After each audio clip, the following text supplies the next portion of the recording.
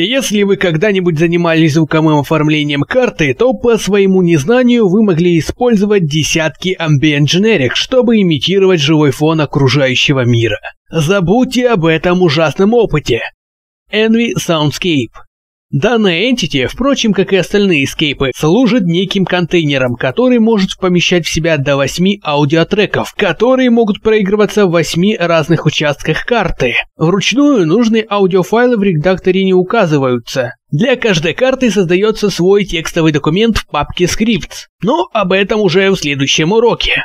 Для начала нужно научиться пользоваться скейпами, которые уже созданы в Valve. Итак, находим вот эту строку. Сюда нужно вписывать название скейпа. Все скейпы можно найти на сайте Valve Wiki, а также на YouTube есть отличные видеодемонстрации всех скейпов. Найдя нужный скейп, мы просто копируем его название вот сюда.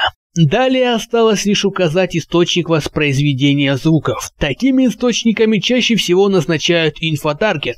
Запомните, на карте один soundscape плавно сменяет другой, когда вы попадаете в его зону действия. Если у вас всего лишь один soundscape, то вы будете его слышать всюду, и придется выключать его только через Outputs, что создаст резкое прерывание звука.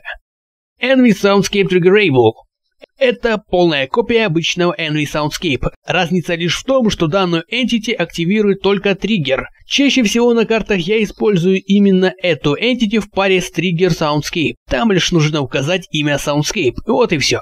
Теперь вы имеете примерное представление о работе Soundscape. Но это не конец. В следующем уроке мы продолжим их изучать. А пока ставь лайк, помоги донатам и пока-пока!